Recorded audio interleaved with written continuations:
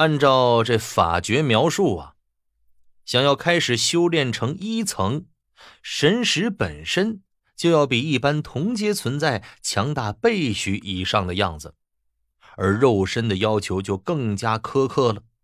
就算是同阶专修肉身的极端异类，也不过勉强符合条件的样子。若是两者只选其一呢？虽然符合的少之又少。倒也能找出一些出来，两者均满足的呢？哎，不能说灵界没有啊，但是绝对是凤毛麟角。毕竟对一般的修炼者来说，神念相对肉身肯定是弱小许多的。专修断体的极端存在，没有法力的支持，神念也绝对强大不到哪儿去的。那么至于这个法诀的后边第二层、第三层，对。修炼者的修炼要求就更加的逆天了。岳仙子是那种专修法力之人，当初一看到这个条件呢，自然大失所望起来。不过，就像此女原先猜测的那般，在经文的最后边，确实给了一个解决此法的办法，那就是呢，给出了两张从未听闻过的丹方，一个叫迷罡丹，一个叫。凝魂丸按照上面所说，上面两种丹药，一个可以增加神识之力，一个可以改善肉身。两种丹药经过长时间一同服用之后，就可以让修炼者慢慢达到修炼这个炼神术的条件。具有如此不可思议神效的灵丹，那自然不是灵界之物。上面纵然呢把这两种丹方写的详细无比，甚至连炼制的步骤都讲述了一二，但是所用的主材料，哼，没有一种是韩立听说过的。想要在灵界炼制出这两种灵丹来，根本是天方夜谭之事。韩立看闻炼神术修炼条件之后，骇然之下呀，也松了口气。他走的是法体双修的路子，神念因为先前修炼大眼诀呢，也是远超同阶存在的，而繁盛真魔功外加他的一些断体灵药的服用呢，也让肉身强横到了一个不可思议的程度。哎，故而第一层不用说呀，他现在这个阶段呢就可以修炼了。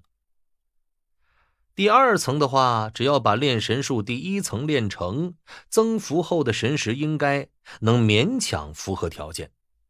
倒是肉身，除非将繁盛真魔功修炼到了极致，再有一些机缘的话，哎，也不是没有希望达到这个要求。至于第三层的条件，韩立只能摸摸下巴，满脸苦笑了。不管怎么说，这炼神术能把神念一下增幅倍许，用处之大是可想而知的。啊，别的不说，修炼成一层之后，韩立自负，进阶合体期起码能再多出两成的把握来。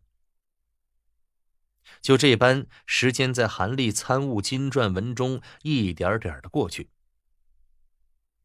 这一日。韩立正在山腹中细细冥想之时，忽然听到储物镯中一阵的嗡鸣声传来，他心中一惊，急忙双目一睁，朝手腕处扫了过去。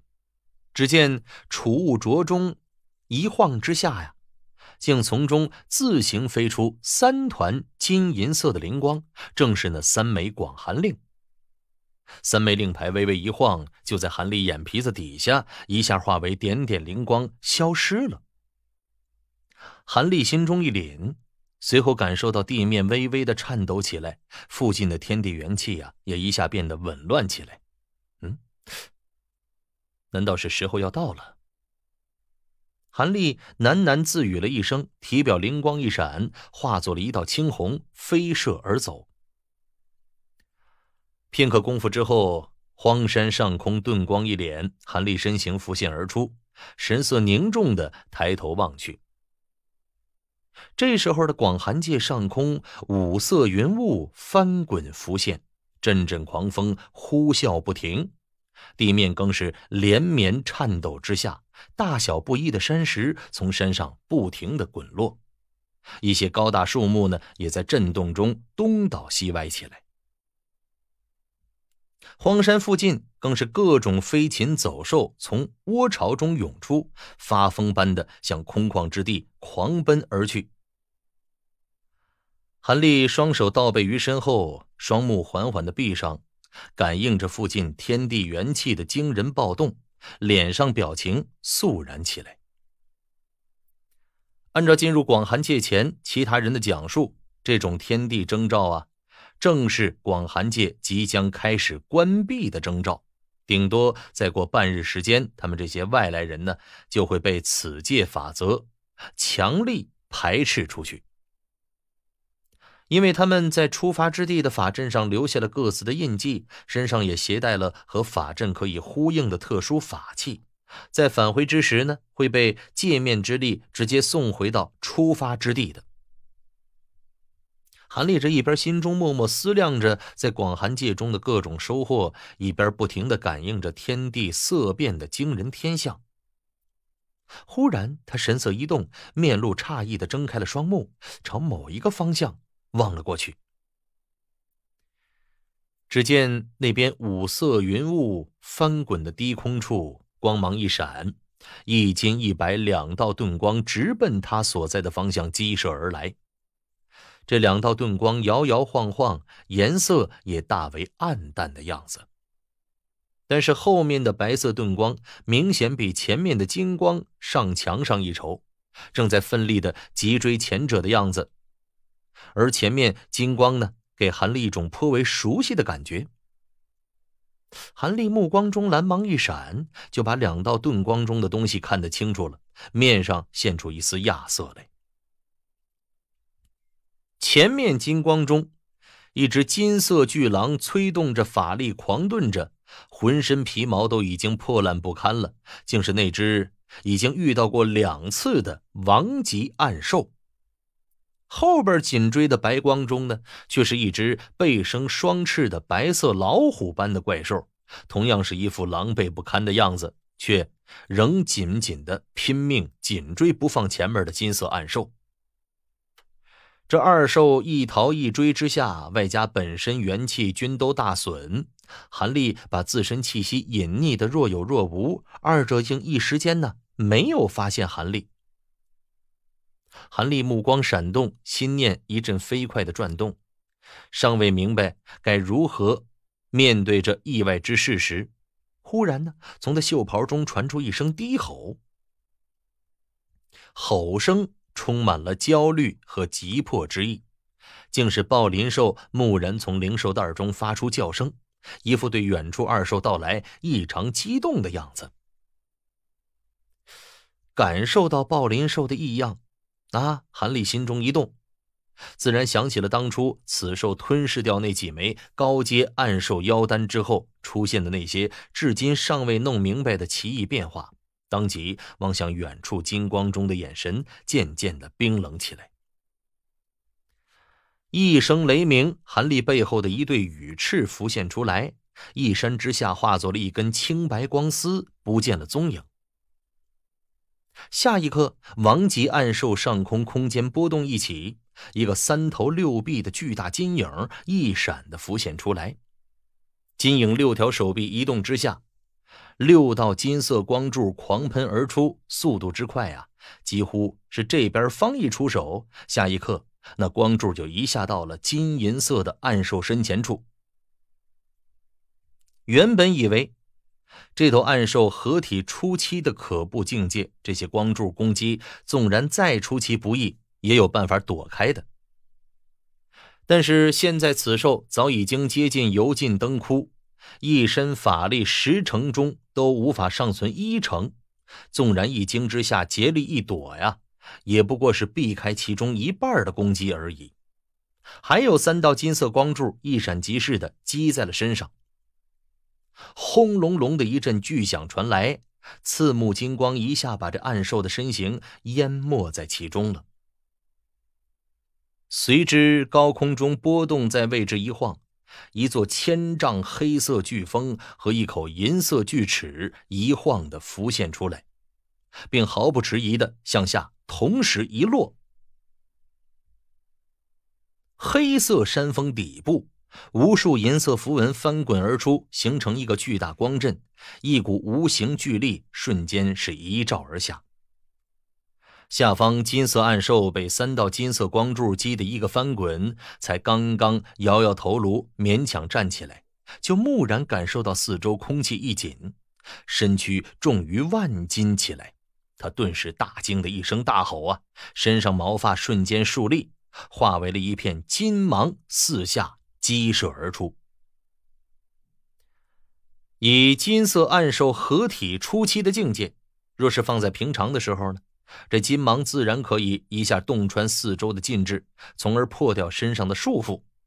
但是现在，体内法力不及原先一成的情况下。这金芒方一离体不过丈许，纷纷在距离一下一颤的凝滞不动了。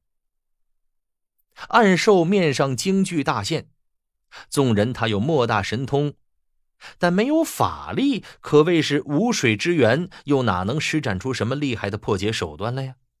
就在这时候，空中落下的银色巨齿一晃之下，道道齿影发出风雷之声，一闪即至，纷纷击在了这头王级暗兽的身上。一声凄厉的惨叫声发出，暗兽肉身瞬间被无数银色的电弧包裹其中，焦糊的味道一散而出。噗的一声，一口青色巨剑从虚空中一斩斩下。金色暗兽在电弧和巨力捆缚中，根本无法躲闪分毫。这青光一闪，就被硬生生斩成两截了。此兽身躯化为两片，一分而开。一声爆鸣声响起，一只比原先小了近半的金色暗兽突然在尸体之间浮现而出，体表一股血雾一喷之下，化为一团血光激射而出。嗯。一声轻疑声从附近的虚空中传出，随着“轰”的一声啊，原本在高空的黑色山峰从虚空中瞬移而下，竟准确无误的把陶遁中的血光一压而下。但是，诡异的一幕出现了：血光瞬间四溅溃散的同时，竟然又一道纤细金光从中一弹的激射而出。隐隐是一只拳头大的金色暗兽，此兽接二连三使用了金蝉脱壳之术。一声冰寒刺骨的冷哼从高空中传来，银光一闪，一只头颅大小的银色的火鸟，在迷你暗兽逃窜的前方诡异的浮现，双翅一展扑下来，将这个来不及躲避的金色暗兽啊吞噬其中了。迷你暗兽连吭都未吭几声。就被噬灵真火化为了乌有。就在这时候，一声低沉的雷鸣，一道青白光丝在银色火焰附近蓦然浮现，顿光一脸，韩立的身形浮现出来，并抬手冲着银焰中飞快一抓，嗖的一声啊！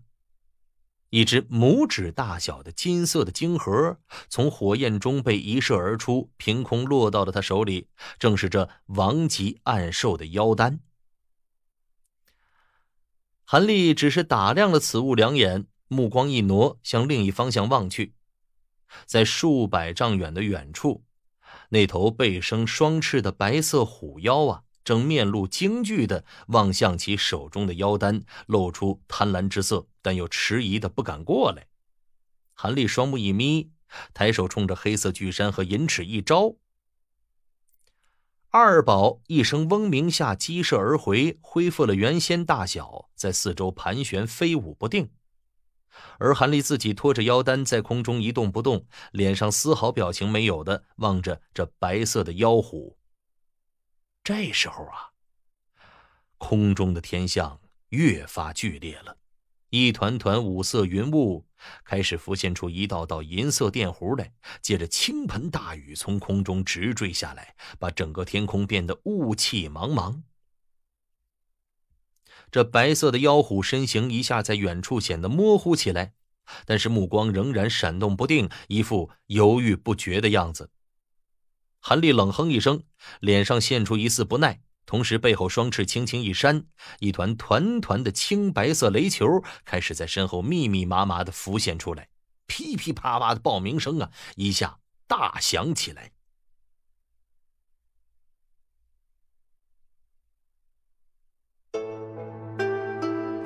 今天呢就讲到这里下一集中桑梓将继续为您播讲凡人修仙传。